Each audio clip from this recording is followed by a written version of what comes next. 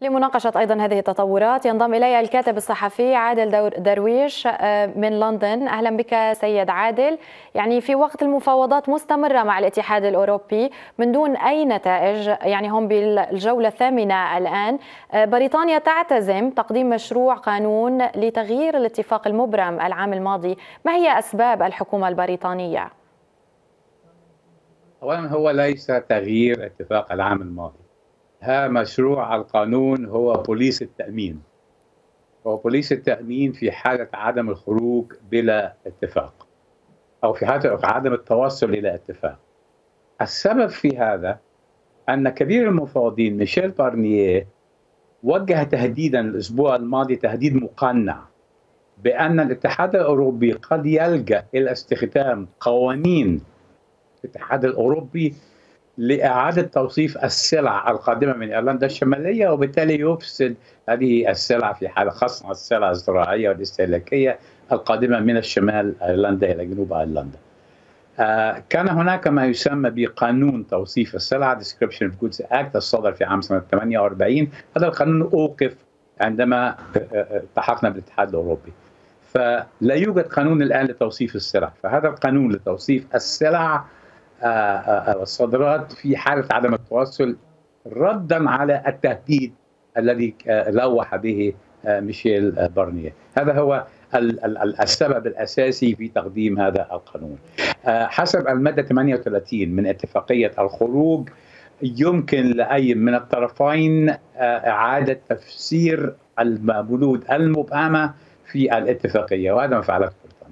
لكن سيد عادل عندما يتم الحديث على أنه آه، آه، آه، مشروع القانون هذا هو انتهاك للقانون الدولي يعني التعديل على الاتفاق هو انتهاك للقانون الدولي. فكيف تتعامل اليوم الحكومة البريطانية؟ إلى أي مدى سيمكن بالفعل تمرير هذا المشروع بالبرلمان؟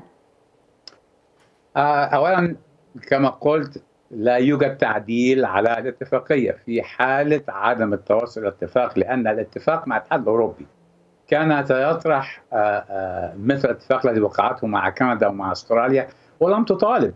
الأوروبي لم يطالب كندا أو أستراليا بأن ينفذ تنفذ كندا قوانين الاتحاد الأوروبي.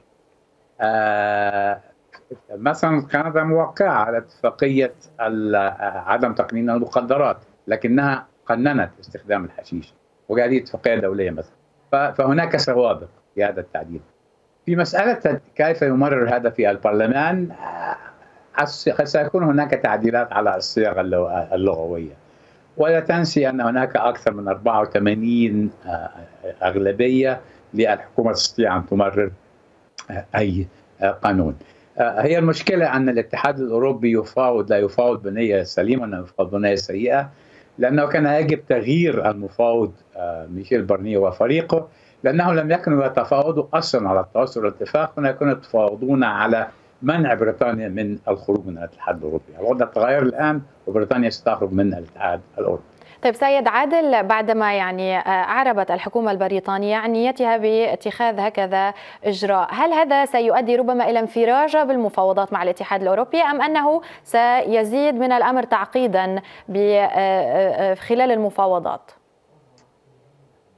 الاتحاد الأوروبي آه، آه، مثل ما قلت كان يفاوض في البداية على منع بريطانيا من الخروج مراهنة على أن القوى الداخلية ما أسميهم البقائيين الريمينرز يريدون تعطيل هذا هذا فات الأوان الآن. ومن ثم أصبحت الاتحاد الأوروبي يفاوض الآن على أن يضع بريطانيا في موقف تضطر معه إلى تمديد الفترة الانتقالية، هذه هي اللعبة التي لعبها الاتحاد الأوروبي. ف حكومة بوريس جونسون قالت أن يوم 15 أكتوبر هو الحد الفاصل. إذا ما توصلناش اتفاق سنخرج بلا اتفاق. هذا هو الوضع الموجود الآن إما إقبال الاتحاد الأوروبي أو تكون على اتفاقية التجارة على اتفاقيات التجارة العالمية.